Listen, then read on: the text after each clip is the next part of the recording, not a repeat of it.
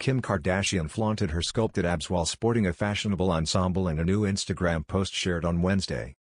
The Skims founder, 43, who is reportedly over feuding with Taylor Swift after singer dissed her on the Tortured Poets Department album, continued to brush off the drama in the latest series of snaps. The mother of four donned a black, bandeau strapless top that contained belted details on the front. She additionally slipped into a pair of high-waisted, black pants that were made of a soft, fuzzy material. Kim layered the monochromatic outfit with a long coat that was left unfastened at the front. Her dark locks were parted in the middle, and effortlessly flowed down past her shoulders in light waves. The TV personality's makeup was glammed up, and comprised of a layer of mascara to her lashes as well as a light shadow around her eyes. A pink blush and warm contour was added to better accentuate her cheekbones, while a nude, matte tint was worn on her lips and bordered by a darker lip liner. Dot Kim could be seen strolling outdoors after the sun had set in the photos, and flashed a smile while holding her smartphone in her hand as well as one heel. Dot The Kardashian star also included a short reel that was filmed in a dimly lit space with a flashlight shining on her. Dot Throughout the reel, she struck a variety of poses to better show off the ensemble as well as the glittering shoe in her hand.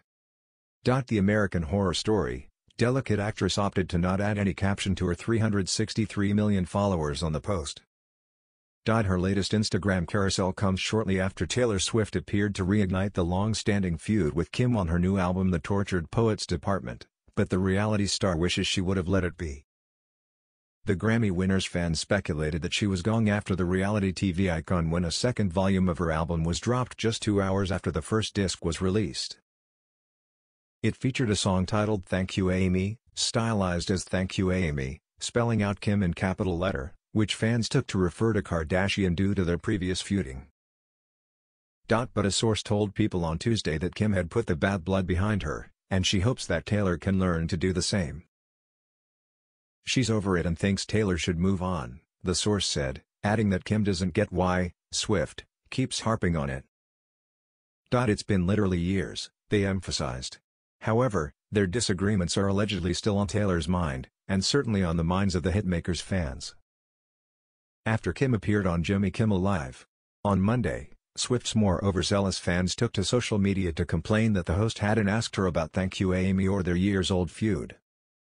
Why not ask her about the Taylor Swift song that North will be singing? Wrote one person on Instagram. Another wrote, Jimmy, in 100% sure you weren't allowed to speak or ask questions about Taylor or TTPD but you could have least slipped up a couple of times and called her Aimee. Fans also believe Thank You Aimee is aimed at Kim thanks to its chorus, All that time you were throwing punches, I was building something. And I can't forgive the way you made me feel, screamed fuck you, Aimee to the night sky, as the blood was gushing slash but I can't forget the way you made me heal. Died Elsewhere in the lyrics, Taylor sings about removing defining clues about the person she's singing about, and she added, I changed your name, which instantly drew more listeners to the irregularly capitalized title. The ongoing feud between Taylor and Kim appears to trace back to the 2016 release of Kanye West's The Life of Pablo. In that album's song Famous, Kim's ex-husband raps, I feel like me and Taylor might still have sex, why?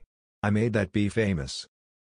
Dot The line, which alludes to when the 46-year-old rapper interrupted Taylor's win at the 2009 MTV Video Music Awards, was supposedly passed on to the songstress for approval, but she denies ever giving it the okay. Taylor said she had been contacted about the song, but she was never made aware of the actual lyric, I made that be famous. In an effort to prove Kanye's version, Kim shared an edited clip from the studio of him calling up Taylor and seemingly getting her approval. However, the clip shows him conveying the idea, more than the specific lyrics, and when the complete call later leaked it made it clear that the use of be, which seemed to be a major issue for Taylor, was left out completely. Things seemed to settle down in subsequent years, and Kim claimed in 2019 on Watch What Happens Live that the trio had moved on from the dispute. Although Taylor's career has never been better or higher profile than in the last few years, she complained in her 2023 Time Person of the Year profile that the dispute took me down psychologically to a place I've never been before. Dot you have a fully manufactured frame job, in an illegally recorded phone call, which Kim Kardashian edited and then put out to say to everyone that I was a liar, she seethed. It is illegal to record a phone call in California, where at least some of the parties were likely located during the original exchange, without the permission of all parties on the call. Since the diss track on TTPD was released, the Skims founder has lost 100,000 followers on Instagram. However, she has continued to brush off the feud and drama while focusing on her family and work. Earlier this month, Deadline reported that the reality star is slated to be an executive producer on a new Netflix series titled, Calabasas, alongside her AHS, Delicate co-star Emma Roberts, Pretty Little Liars creator, I. Marlene King and Alexandra Milchan. The show will be based on the novel titled, If You Lived Here You'd Be Famous By Now, written by Via Bleidner. The premise follows a 16-year-old named girl named Via who moves to Calabasas with her family from the Midwest and attends Calabasas High. Kim has other upcoming projects under her belt, such as being set to star and also produce an untitled thriller for Amazon.